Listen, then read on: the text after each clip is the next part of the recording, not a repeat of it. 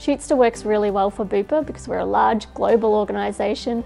We're communicating both internally, externally, social. We do a lot of our learning and development content through videos. So it's a way of getting the message across in a really engaging way. We love Shootsta. It's changed the way that we communicate with our employees. Our leaders are more visible, they're more open, they're more authentic, which is fantastic.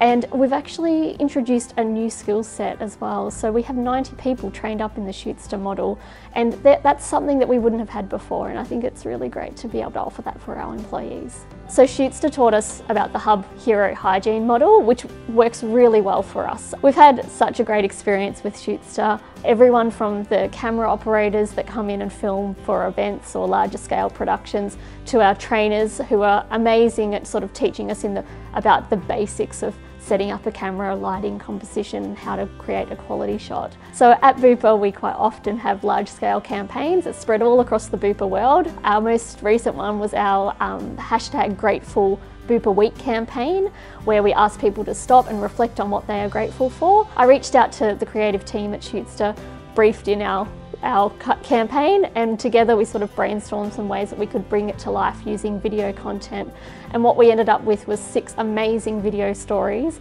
of our people sharing what they're grateful for. It was really fantastic. From a corporate comms perspective, if you're able to open the the gates and have more contributors producing this great content, you'll see a higher engagement with your employees.